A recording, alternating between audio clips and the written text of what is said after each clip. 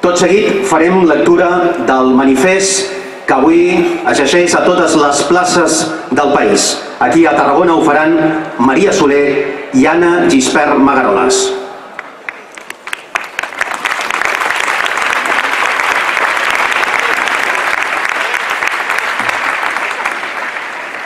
Manifest en motiu dels quatre mesos d'empresonament. 123 dies, o el que és el mateix, 4 mesos. És el temps que porten Jordi Cuixart i Jordi Sánchez privats de llibertat i lluny dels seus. El president d'Òmnium Cultural i el fins ara president de l'Assemblea Nacional Catalana fa 123 dies que viuen entre reixes per les seves idees polítiques, per defensar el dret d'autodeterminació del poble de Catalunya, el mateix que el vicepresident, Oriol Junqueras, i el conseller d'Interior, Joaquim Forn, 106 dies tancats a la presó d'Estremera per tirar endavant el mandat del poble de Catalunya. El dret a manifestació és un dret bàsic en qualsevol democràcia, però aquí l'Estat actua com una dictadura. Ens jutgen i ens priven de llibertat per manifestar-nos pacíficament. No ens cansarem de dir-ho. Les entitats no hem comès cap delicte. Jordi Sánchez no ha comès cap delicte. Jordi Cuixart no ha comès cap delicte. Empresonant els dos Jordis ens han empresonat a tots. Hem passat quatre mesos des d'aquell 16 d'octubre, quan passades les 9 del vespre, l'Audiència Nacional decidia enviar a la presó de Soto del Real Jordi Sánchez i Jordi Cuixart. Les cassolades van ressonar arreu de Catalunya. El país es va omplir d'espelmes amb l'esperança que aquest malson acabaria. El carrer Marina es va desbordar de persones que exigien la fi dels empresonaments dels Jordis i de tot el govern. I en aquest temps, el govern espanyol ni tan sols li han pujat els colors.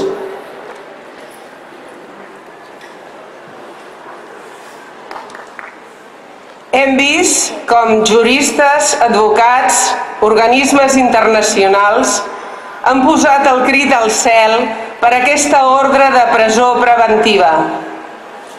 Escandalosa, alarmant, cop a l'estat de dret són només algunes de les moltes qualificacions que veus més autoritzades han etzibat a la injusta situació de Jordi Cuixart i Jordi Sánchez així com Oriol Junqueras i Joaquim Forn, que no oblidem, porten 105, 106 dies tancats a Estremera. Ara mateix, a l'estat espanyol, s'estan vulnerant drets bàsics i fonamentals. No estan garantits alguns drets i llibertats. I, lluny d'aturar, segueixen les citacions judicials de polítics, però també d'empresaris i voluntaris que, repetim, no han comès cap il·legalitat. La injusta situació dels presos polítics ens demostra que s'estan vulnerant el dret d'expressió, d'opinió, de manifestació, d'associació i participació. Als presos se'ls restringeix el dret a participar de l'activitat política. Han estat empresonats per ordre d'un tribunal que no era competent per fer-ho, l'Audiència Nacional. No s'han respectat els principis d'imparcialitat ni independència judicial. S'ha vulnerat el dret a la presumpció d'innocència. No se'ls ha garantit el dret a preparar la seva defensa.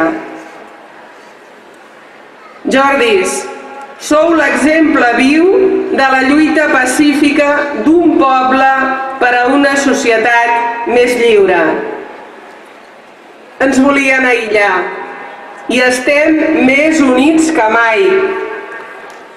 L'esperança és més forta que la tristor la voluntat d'una Catalunya millor i unida és més forta que la rancúnia. I no oblidem, tots són a la presó sense haver estat jutjats. No hi ha escletxa per al dubte. Tots quatre estan retinguts per l'Estat per raons polítiques. No defallirem. Seguirem alçant la veu per denunciar tants cops com calgui aquesta injustícia majúscula.